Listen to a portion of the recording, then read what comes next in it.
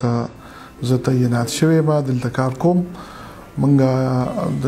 ورځ او شپه د دې یونیورسيټي لپاره ډیر په مینه باندې کار کو او د خپل زړه ویني ورکو او کوشش مو دی چې داسې یو یونیورسيټي جوړ کړو چې هغه د دې قوم د لپاره او د دې صوبې د لپاره او د دې ټول وطن د لپاره یو رول ماډل وي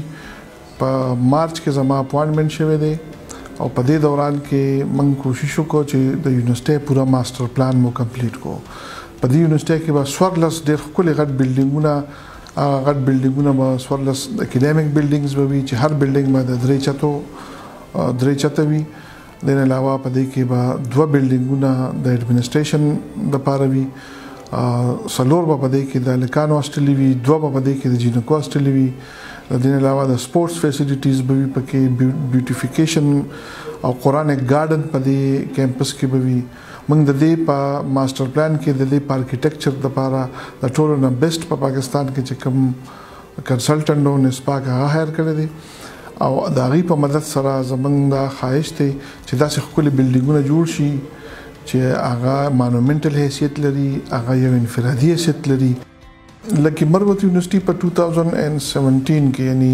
2017 کې دا د اکټ لاندې جوړ شوې ده د دې لپاره څخه خلکو ډیر کار کړی دی او حکومتي لګ ډیر فند سره چې هغه ډیر لګو خو بهر حال بیا هم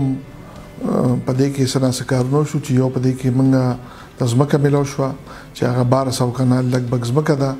په دې تاجزه او میاوالی روډ باندې دوی مدا دا چې موږ هغه کارونه خو برابر کړ دغه بنیادی سيزونه هم موږ کوو یونیک کارونه موږ چې په دې کې کم کوو هغه دا دی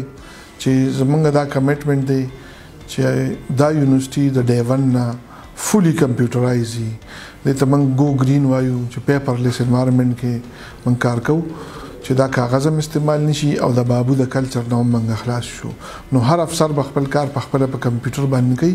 څنګه چې تاسو زما مخې ته کمپیوټر وینئ زه په خپل د خپل کار بابوم یم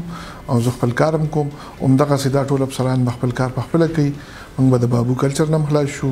او زمونږ چې کم پدې کې بچت کیږي نو د هغې د وجې نه به موږ فیسونه نه زیاتو د هغې د وجې نه به موږ دغه ایم فل پی ایچ ډي پروګرامز چې دی هغه به پې چلو دا پوره کمپیوټرایزیشن فرام ای ټو زی د سټوډنټ ټول سایکلز د نوکرو ټول سایکلز د نوکرانو ټول سایکلز او د ایگزامینیشن ټول سایکلز به کور کوي او د خلکو کارونه د هفتو نه دروازو نه په یو څو منټه کې به کیږي په دې وخت کې موږ په درې بلډینګونو کې کار کوو یو موږ سره د کالج بلډینګ دی یو موږ سره د کامرس کالج یو بلډینګ دی اخپتا او یو موږ سره ګمبیله ایریا کې موږ په رینټ باندې غشتل شوی یو بلډینګ کې موږ کار کوو موږ سره د وخت کې تقریبا 900 خپل سټوډنټان دي او موږ سره تقریبا 15000 پورې پرایویټ جمع افیلیټ سټوډنټان انرول دي منګه ایم ایس بي ایس دا پروګرامونه افر کو او زموږ سلیکشن بورډ زر روان دي چې موږ سره استادان پی ایچ ډي استادان راشي نو موږ بیا پی ایچ ډي او ایم ایم ایس او ایم فل پروګرامونه هم شروع کولو والي یو د دې زه تاسو ته دا یقین ویم چې لږه موده کې به تاسو وینئ د لکي مروت پسمندګي ختمېدو واله ده ان شاء الله او د دې یونیورسټۍ له کبله به په دې ټوله خطه کې ډېره لویه تبدیلي راشي